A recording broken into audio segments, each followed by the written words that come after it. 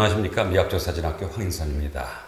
여러분들하고 어, 계속돼서 어, 여행사진에서의 테마 찾기에 대한 설명을 좀 드리고 있는데요. 어, 지난주까지 지난해까지 우리가 의식주에 대한 이야기를 했다 그러면 이제는 어, 교통수단에 대한 이야기, 그 다음에 밤풍경에 대한 이야기 이, 이걸 중심으로 여러분들하고 좀 얘기를 하는데요. 어, 여기 이제 앞에서 제가 설명해야 될 요소 중 하나가 빠뜨렸던 게 우리가 말하는 상업시설, 즉 재래시장도 이 안에 들어갑니다. 그래서 오늘 여러분들하고는 교통수단, 그 다음에 상업시설, 어, 또 야관, 야경, 야간의 모습, 이 세 가지를 가지고 좀 이야기를 나눠보도록 하겠습니다. 자, 사람들은 어떻게 돌아다닐까요? 뭐 걸어서 다닐 수도 있고요. 사막 같은 지역엔 낙타를 타고 다닙니다. 그 다음에 말을 타고 갈 수도 있죠. 들판 같은 지역에 말을 타고 다닐 수도 있고요. 또는 어떤 수레를 이용하는 방법도 있고요. 이렇게 이동수단 자체가 되게 다양합니다. 강가마을에서는 당연히 보트를 타고 가겠죠. 그래서 여러분들이 여행하는 지역에 이동수단이라는 게 있어요. 물론 협계 열차가 운행되는 지역으로 간다든지, 곤도라가 운영되는 지역으로 간다든지, 이 이동수단을 여러분들의 여행의 테마 소스로 사용하시면 그걸 가지고 하나의 작품적 베이스를 만드실 수가 있기 때문에 교통수단에 대한 테마를 여러분들한테 좀 이렇게 언급을 좀 드립니다. 물론 자전거로 세계를 일주하는 사람도 있고요. 그 지역에 가면 자, 자전거를 많이 타는 사람들 또는 계속 짐을 지고 걸어야 되는 부분들 뭐 네팔 같은데 쇠파라든지 이런 직업을 가진 사람들 보면 뭐 짐을 지고 걸어가는 모습들을 보실 수가 있을 것입니다. 그래서 또 뭐 이렇게 라오스나 또 미얀마 이런 데 가면 이 인력거 있죠. 자전거 인력거. 또는 오토바이를 개조해가지고 뒤에 사람을 싣게 하는 교통수단도 있고요. 트럭을 개조해서 버스로 운행하는 지역도 있고요. 굉장히 다양합니다. 그래서 여러분들이 그 지역에, 여행할 지역에 대중교통수단을 직접 타보는 것도 한 가지 방법이고요. 타고 나서 그 느껴지는 것들을 여러분들의 사진적인 소재로 활용하는 것도 한 가지 방법입니다. 물론 저 같은 경우에도 어, 조금 독특한 사진을 찍기 위해서 어, 일부러 보트를 현지인들이 되는 로컬 보트를 타기도 하고요. 메콩강 여행할 때는 제가 이렇게 보트를 타고 여행을 한 적이 있고요. 뭐 몽골이나 이런 데서는 뭐 낙타를 타보기도 하고요. 이런 것들이 중요한 어, 소재가 되기 때문에 오늘 여러분들한테 테마로 소개를 좀 드리는 겁니다. 자, 지역별로 되게 다양하죠, 운송수단이. 그래서 이제, 어, 그 운송수단에 대해서 여러분들이 어떠한 형식으로 좀 볼 것이냐. 어, 지역에 따라서는 이게 되게 중요한 자산일 수도 있어요. 그래서 또는 자기의 개성과 캐릭터를 나타낼 수도 있습니다. 그래서 치장이 달라요. 그래서 다양한 치장을 하고 있거나, 어, 도포를 하고 있거나, 뭐 예를 들어서 이제 쿠바를 갔다. 그러면 전부 그 운행하고 있는 올드카들이 택시로 이렇게 영업을 하는 택, 것들을 많이 보실 수 있는데, 이, 그들이 계속 도색을 해놓은 것들, 안에 그 실내 장식 모습, 이런 걸 보시면 굉장히 다양합니다. 그 운전자의 개성에 따라서 다양한 모습들도 찍을 수 있고, 운전하는 사람하고 친해져 가지고, 어, 그들의 표정이나 그들의 삶의 모습도 찍을 수 있고요. 그들의 어떤 휴식 시간의 느낌 이런 것도 다 다양하게 그때 나오는 어, 표정들이라고 보실 수가 있습니다. 그래서 여행에 여러분들이 집중한다 그러면은요. 어, 저 같은 경우는 뭐 이렇게 이런 경험도 있습니다. 뭐 단체 여행을 잘 하는 성격이 아니다 보니까 그 지역에 이제 이렇게 에, 뭐라 그럴까요? 틱톡이라고 그러는데 틱톡이라고 그러나요? 아, 똑똑이, 뚝뚝이라고 그러는데, 죄송합니다. 뚝뚝이라고 그러는데, 이거를 이제 빌립니다. 빌리면 뭐 하루 한국 돈으로 해서 한 만 원 정도만 하루를 렌탈할 수가 있거든요. 그럼 그 렌탈을 하고, 그걸로 개별 여행을 하면서 가다가 좀 세워주세요. 뭐, 그리고 찍, 찍은 적도 있고요. 계속 가다가 세우면서 찍는 거죠. 그리고 이제 맨 끝에, 어, 그 기사한테 이렇게 선물도 좀 주고, 협의를 하는 거죠. 내가 니네 집 가서 저녁을 먹을 수 있느냐. 어, 먹을 수 있으면 내가 그것에 대해서 응당한 페이를 하겠다.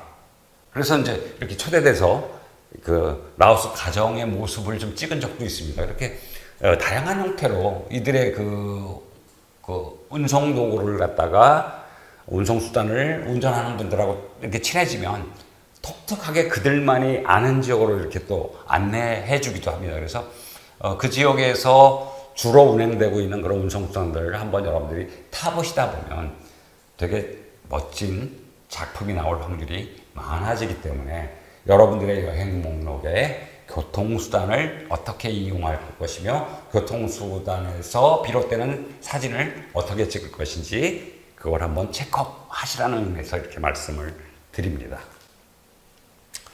자, 전체 설명에서 여섯 번째는 뭐냐면 상업시설이에요. 상업시설. 소위 얘기해서 이렇게 쇼핑센터도 있고, 백화점도 있고, 재래시장도 있지 않습니까?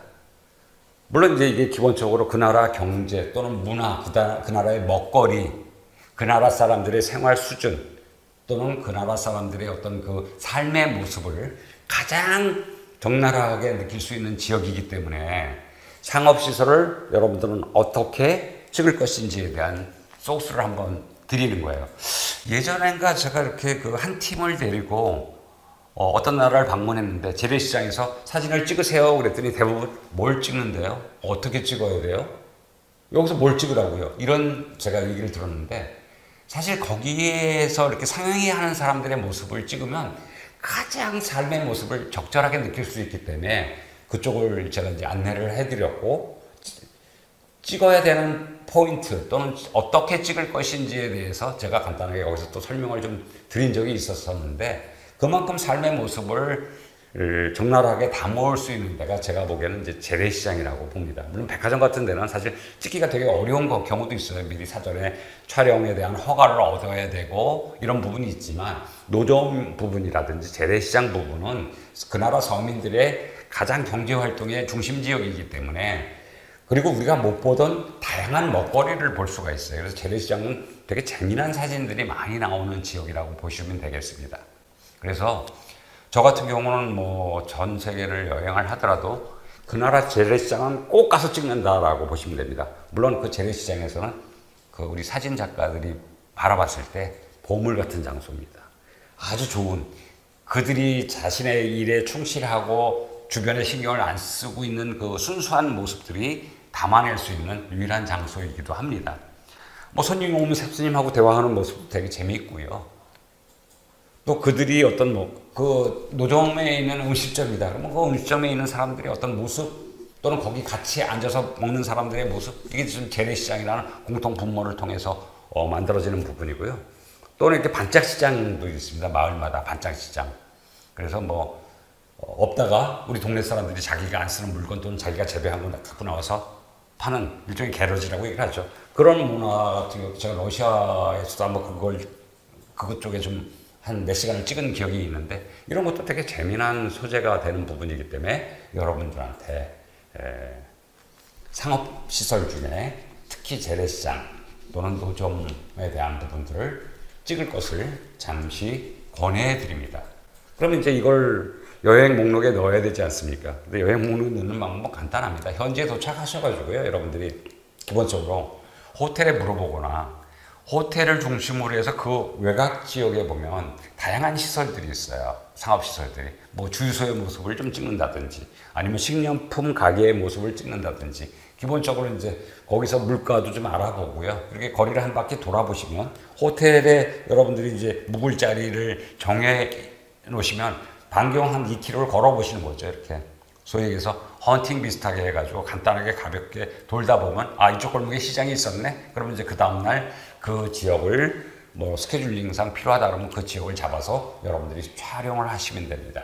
그래서 다양한 부분들을 보실 수 있어요. 그래서 뭐 우리나라에서는 뭐 이제 그 문제가 되겠지만 아직까지 이 동남아 몇몇 국가에서는 그 학교 다니는 나이에 어린 소녀들이 이렇게 직접 장사를 하는 모습도 볼 수가 있고요. 그래서 이런 것들을 여러분들이 대비하시면서 담아두시면 굉장히 재미난 형태의 그 나라 문화를 알 수 있고 그 나라의 식문화도 보실 수가 있고 그 나라 사람들이 즐기고 있는 부분들도 보실 수 있고 삶의 모습, 다양하게 살아있는 삶의 모습들도 보실 수 있을 거라고 봅니다. 그래서 감추를 좀 드리고요. 자, 이제 마지막으로 일곱 번째를 설명을 좀 드리면요. 밤의 모습. 낮과 밤의 모습은 전혀 다릅니다. 같은 지역이라도. 그래서 내가 A라는 지역을 낮에 봤다 그러면 그 지역을 밤에 다시 찾아보실 것을 한번 권해드립니다. 이 모습은 낮에는 평범했던 모습의 지역이 밤에는 굉장히 활기찬 지역으로 바뀌는 경우도 있고요. 반대로 낮에 활기찼는데 밤에 가보면 정막이 감도는 지역도 있습니다. 그래서 여러분들이 해가 진 이후, 이후에 도시 안에 도시의 빛을 가지고 여러분들의 사진을 어떻게 찍을 것인지 한번 고민해 보셨으면 한 말씀 좀 드립니다. 물론 더운 나라의 열대 지역에 가면 밤 문화가 많이 발달이 되어 있죠. 어, 낮에는 덥기 때문에 활동을 안 하고 밤에 보면 이렇게 예, 야식을 팔고 있는 시장 또는 지역에 조그만 어, 공터에서 이루어지고 있는 그런 시장들을 많이 보실 수 있는데 어쨌든 그것도 밤에 찍어 놓으면 여러분들이 되게 재미난 형태의 야경, 살아있는 밤의 모습을 좀 찍을 수 있고요. 도시도 마찬가지죠. 네온사인의 어떤 부분들, 물론 이제 여러분들이 말하는 골든아워라든지 블루아웃에 찍어 놓으면 느낌 있는 사진이 더더욱 많이 양산이 되죠. 그래서 해지기 전이나 해진 후에 30분 안에 모습을 찍어 놓으면 푸른색 하늘과 도시의 모습이 어우러지죠. 도시는 보통 이렇게 따뜻한 색으로 전구, 전구, 전구들이 불빛이 붉은색을 띠기 때문에 굉장히 느낌 있는 사진들을 좀 만드실 수 있을 거라고 봅니다. 그래서 여러분들이 시간이 주어지면 또는 그런 환경을 만들어서라도 밤 사진을 좀 찍어보라고 말씀을 드리고 싶고요. 물론 도시를 벗어나서 여러분들이 어떤 오지 지역을 갔다 그러면 그때는 진짜 여러분들이 별 사진 찍기 굉장히 좋거든요. 도시에서 못 보던 쏟아지는 별의 모습을 보실 수가 있어요. 저 같은 경우도 몽골 가서 잘안 찍는데 안 찍을 수가 없어요. 별 사진을. 그래서 이제 그 게르를 배경으로 해서 별 사진을 찍어보기도 했습니다만은 여러분들이 어떤 것을 좋아하실지는 모르지만 여러분들이 해진 이후에 명작이 나온다라는 그 명언 하나를 베이스로 해서 해진 이후의 모습들을 찍어보시면 되게 재미난 모습이 나오는데요. 대부분의 그 위험한 지역이 아니면 어, 밤에 충분히 움직이실 수 있는 부분들이 많습니다. 너무 이렇게 걱정을 안 하시고 움직일 수 있는 지역인지 아니면 밤에는 나다녀야 되지 않는 지역인지를 잘 감안하셔가지고 여러분들이 어떤 목표를 가지고 조금 더 다양한 사진들을 한번 찍어 보셨으면 하는 의미에서 제가 오늘 세 가지를 말씀드렸습니다. 물과 재래시장과 야간의 부분을 여러분 사진에 어떻게 담을지 한번 여러분들도 고민해 보셨으면 좋겠습니다. 감사합니다.